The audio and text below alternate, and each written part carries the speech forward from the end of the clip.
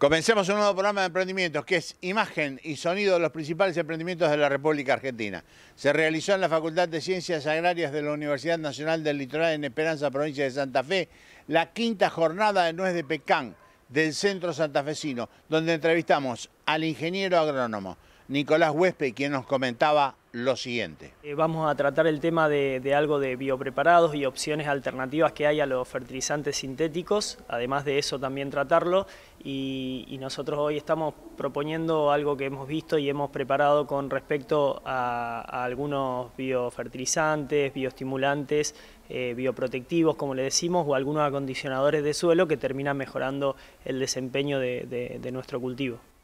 ¿Cuáles son esos biopreparados?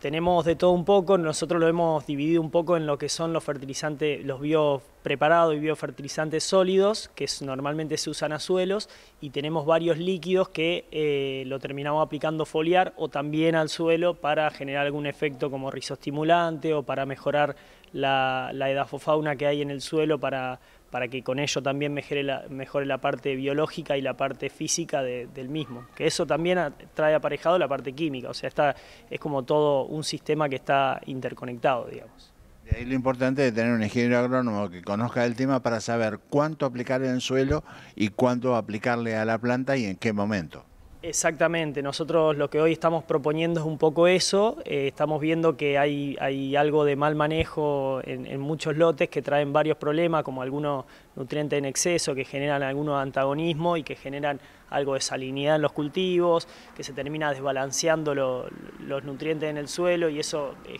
eh, genera muchos problemas, algunas toxicidades también por algunos elementos. Entonces la idea por ahí es eh, hacer la parte teórica hoy a la mañana y después del mediodía haremos una parte que es algo práctica, que es para que ellos puedan este, armar como un pequeño plan de fertilización muy, muy por arriba para que puedan darse cuenta de, medianamente cuál sería el aporte necesario de nutrientes que deberían hacer para el cultivo para que no, pasen estos problemas. ¿no? Nueces de pecan es una inversión a futuro, una manera de tener un capital resguardado para que en un futuro nos vaya dando un ingreso importante al productor. Totalmente, nosotros siempre decimos que es una opción que funciona muy bien como este, una alternativa productiva y eh, como diversificación de un lote productivo. Entonces lo que normalmente proponemos es este, que uno lo piense para futuro y tener una espalda para aguantarse los primeros años, que es cuando el cultivo está improductivo. Una vez que empieza a producir, ahí es mucho más sencillo porque ya tenemos el dinero de la venta de esa fruta para poder reinvertir. ¿no? ¿Cuántas hectáreas necesito para hacer rentable este producto pensando en el futuro? Nosotros siempre decimos que si lo tomamos como actividad principal de la empresa, la que sustenta la empresa, tenemos que apostar a 15 hectáreas para arriba y si lo hacemos como actividad secundaria, eh, puede ser de ahí para abajo, cualquier, cualquier escala es la que funciona, digamos. ¿Qué hago con las nueces una vez que las tengo y empiezo a cosechar?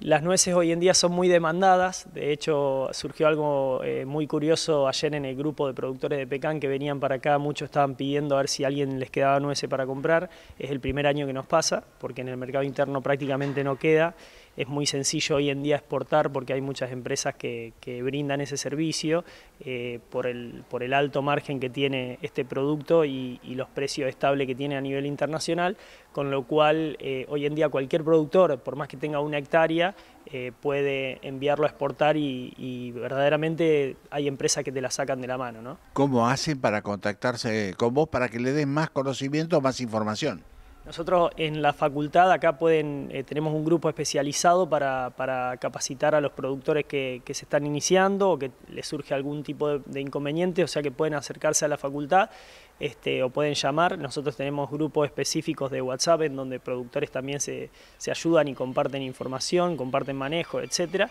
Eh, y si no directamente a, los números personales de varios asesores que estamos en la zona trabajando en este cultivo. ¿Cuál es tu mail y cuál es tu teléfono? Mi mail es nwespe.gmail.com y mi teléfono es 0342 155 19 56 43. Sugerencia para todos los productores de la República Argentina o en esta zona, que quizá esta es una zona importante para realizar esta producción que analicen bien eh, estas nuevas tendencias, que en realidad eh, es nueva en Argentina, pero en el resto del mundo el pecan tiene un recorrido bastante amplio y está eh, muy fundamentado, tiene un comercio muy sustentable y, es un fruto que tiene un valor internacional, por, sobre todo por el tema de salud, como cualquier fruto seco, que, es muy apetecido, entonces es una opción muy rentable a la hora de diversificar o de pensar a futuro una renta eh, con una inversión.